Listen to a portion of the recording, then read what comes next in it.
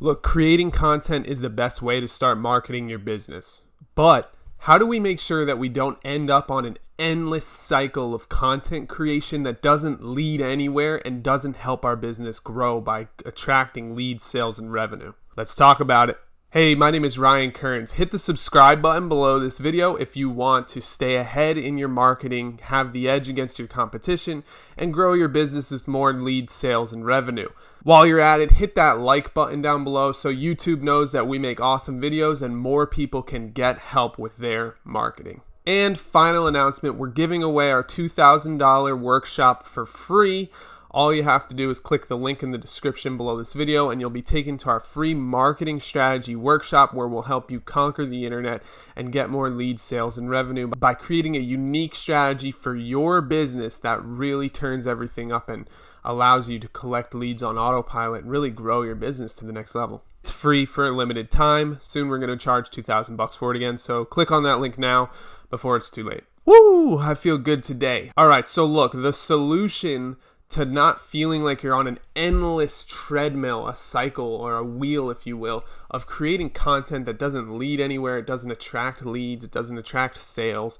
If, if you ever feel like that, there is a solution, and that solution is to break your content up into different stages of the customer experience. Let me explain what I mean. Oftentimes, you're here to this re referred to as tofu, mofu, and bofu which sounds really silly and ridiculous, but that's what marketers call it. Okay, tofu stands for top of funnel. Okay, it's not just a delicious meal that vegans everywhere eat every day. It's also it also stands for top of funnel.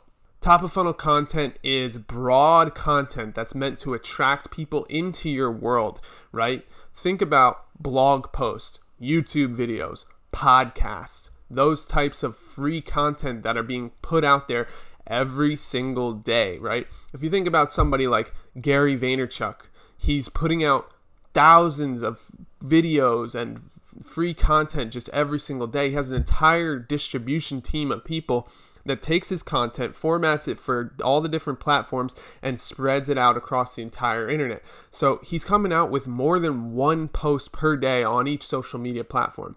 I mean, for YouTube, he could come out with three, four, five videos in a single day. All of that top of funnel content gets him to be well known. It allows him to attract a large following on each social media platform. And then when it's time for him to move those people off of the social media platforms and into his world, right, via email, phone number, or, you know, sales, he he's able to get a huge chunk of them. But the point is top of funnel content is the content that you see day in and day out for free on platforms like YouTube, Medium, LinkedIn, Facebook, Instagram, right? It's all of the content that you just see floating around out there on the internet. Bonus tip all right, here's a bonus tip about top of funnel content, okay? If you can find what everybody else is doing in the top of funnel content and do something a little bit different or a lot different than what everyone else is doing, you start to stand out, okay? I think about Tim Ferriss who created the 4-hour work week. When he created the 4-hour podcast that he does, his Tim Ferriss podcast, he was doing something different than everybody else and that different thing was long form, okay?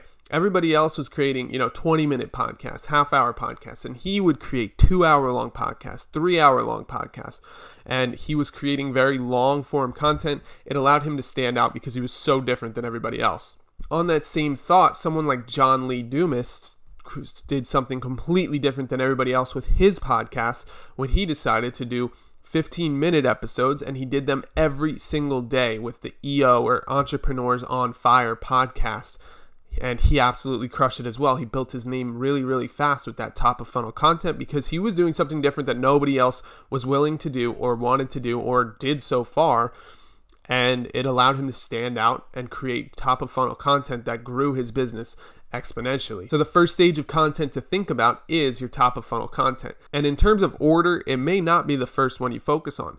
You may decide that focusing on the bottom first, then moving to the top makes sense because the top is going to be the last thing that you do. It's going to be the thing that you do that attracts people into your funnels in the first place. Next is MOFU or middle of funnel content. Okay, and MOFU content is focused on then building the relationship with them, right?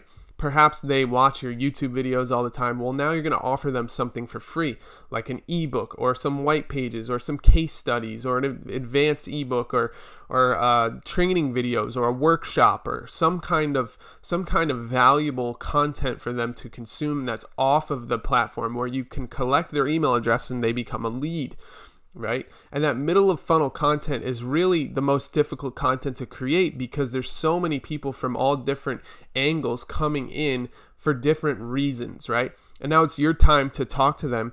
It's your time to warm them up into seeing that your business can offer them a solution to their problems, right? And you've got to start showing them that you're a valuable partner or a valuable companion in their story, right? If you think about um, if you think about stories, right, in the top of funnel, you're inviting the main character. The customer is the main character, not you. You're inviting them into their own story, and you're the guide in the story. So in the top of funnel content, you're saying, hey, I'm a guide in your story and I can help you out. In the middle of funnel content, you start saying, look, I'm a guide in your story, but I can also be even more involved with your story. I can help you even more. I can be there to solve your problems, right? So that middle funnel content is really unique, hard to create, different, and you know, people and people struggle with trying to create effective middle of funnel content that warms their customers up and gets them ready, right? Now you'll see this in the forms of emails, training videos, case studies, advanced ebooks, right? These those types of things really warm people up and start to show them that you have the solution to their biggest problem. So after that, you've got BOFU or bottom of funnel. Okay, so now they've been introduced to you. They see that you can be a valuable guide. Then they see that you can be an even more involved, valuable guide that can help you throughout the entire process.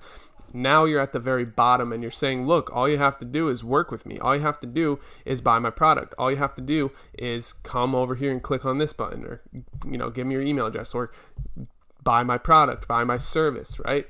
So this is kind of where you can say the marketing ends and the sales process begins, right? If there's going to be some kind of phone call, this is where that would come into play. If there's going to be an evaluation, an assessment, some kind of discount codes, trials, strategy calls, right? Those types of things, that's what happens in BOFU. And for example, you could you could be marketing to them in top of funnel, then middle of funnel, build up the value, build up the value, show them that you're a great partner for them, and then the bottom of funnel would be, hey, book a free strategy assessment with me so we can look at your marketing strategy and see if it's effective, and we can help you make a better one, right? and then they book the strategy call and you talk to them about becoming a full-time partner. So that's just one example, but moving forward, if you wanted to keep everything on e commerce, if you wanted to keep everything online, at this point in the stage, you could offer discount codes, right, to push them over the edge, or trials to push them over the edge. These are just the, the last little icing on the cake that gets people to say, oh, yeah, this is worth it, and they take action. Okay, so bottom of funnel content is not really content at all. It's where the real sales start to happen. It's where you show them the sales page, it's where you show them the order form you show them the thing that's going to allow them to become a customer, right? So that's tofu, mofu, bofu. So let me just give you an example of what all of these things look like together, okay? So tofu would be, let's say someone hears your podcast and you're doing an amazing podcast and it's going really well and you're talking about and let's say you're talking about dog training, right? So you have this awesome podcast about dog training, and this person's training their dog while listening to your podcast, and it's helping them a lot train their dog, and it's helping them have a better lifestyle because their dog stops peeing on the rug.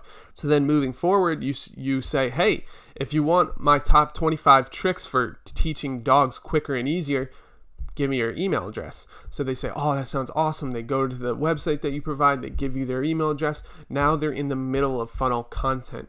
Once they give you their email address, they get that that worksheet. Then you start sending them videos, right? You start sending them things like, "Oh, you probably didn't know about this one trick that your dog can do, and you didn't know about this uh, one treat that will help your dog, you know, learn twice as fast, or whatever it is." I'm making this up. I don't even have a dog, but you start giving them really valuable content. You start showing them case studies. Hey, look what we did with this person's dog, and look what we did with that other person's dog. Now the person's starting to think, okay, wow, this person's really valuable, and they might be a really good person to help me train my dog one on one, and they might be a good fit for me, right?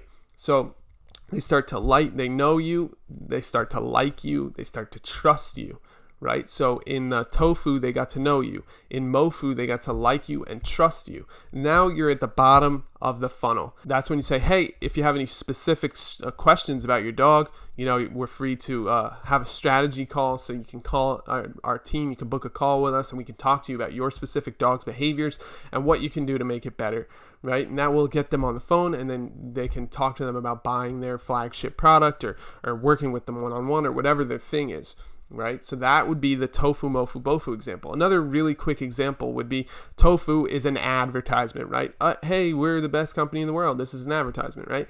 Then mofu would be a webinar, hey, this is a webinar. It's going to warm you up, tell you our story, give you some valuable content. So it's doing all of those examples all at once. And then the bottom of funnel is, oh, by the way, you know, if you want to buy our flagship product at the end of the webinar, a lot of times they pitch you that product, right? You click on it, go to the order form, and that's bottom of funnel. You fill out the order form and get the product. So that's just a really quick example of something more common that people know about webinars, right?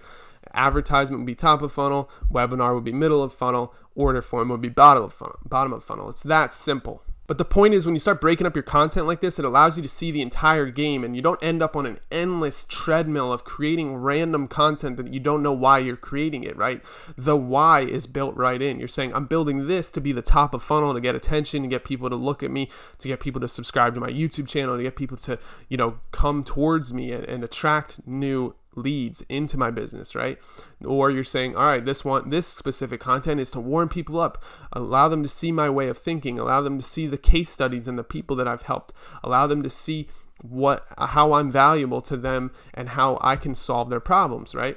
And then bottom of funnel is this is to tell people about the product that I'm offering, about the service that I'm offering, you know, the actual offer, what they get with all of it, what is the purpose, how it's different than everything else, and what we have to offer for the long term. So that really just changes the entire game of creating content, and you no longer feel like you're creating it for no reason at all. I'll save this for another video, but it gets really fun when you start creating tofu, mofu, and bofu content and using remarketing ads or retargeting ads in order to serve the tofu, mofu, and bofu. Then it becomes really fun, but that's a that's a topic for another day. So hopefully this video helped you out. If you have any questions, comments, or concerns, comment below. Don't forget to hit that subscribe button. And don't forget to get your free marketing strategy workshop while it's still available. Just click the link in the description below and you'll get it for free. So thanks for watching. My name is Ryan Kearns and I'll see you soon. Bye.